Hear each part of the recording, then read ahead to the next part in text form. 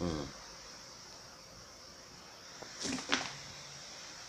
Magan magandang magandang hapon o umaga po mga kaklase. Ako po si Sean Joe Pirex Fordiao at ako po ay magkikwento or mag-interview ng talambuhay ni Reginaldo Martin. Ganda nga po. Upo muna tayo, Reynaldo. So, Reynaldo, kailan po kayo pinanganak? Pinanganak ako Setyembre ng 1, 1987. Saan po lugar kayo pinanganak? Pinanganak ako sa Kamuning, Quezon City sa Delgado Hospital.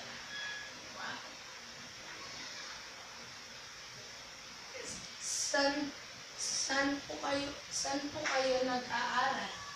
Ako po ay, na, ako ay nakapagtapos na ng kolehiyo sa Universidad ng Santo Tomas. Ay, paano po inaral nyo nung elementary? Nung elementarya at mataas na paaralan, nag-aral ako sa Community of Learners Foundation. Galing mo. At ano po yung mga karangalan nyo?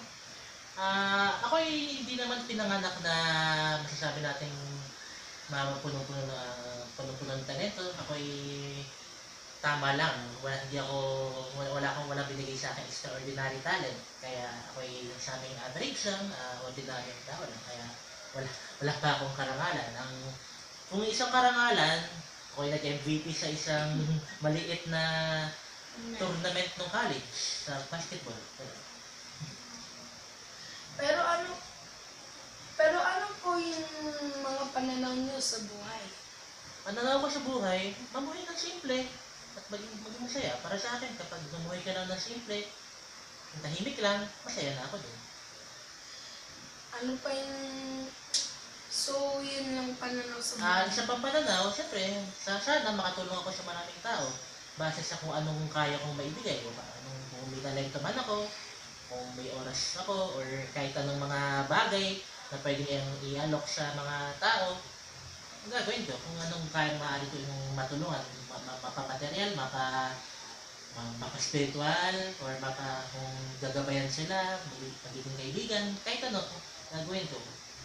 Kung anong tingin ko kailangan ng tao yun, o kung kailangan niya talaga ng tulong. Wow, so yun pananaw nyo sa buhay. Ang galing, ang galing pala niya, ang, ang, ang galing pala niya, kahit wala siyang karangalan, at least may pananaw siya sa kanyang buhay. At salamat po sa panonood ng talambuhay ni Teacher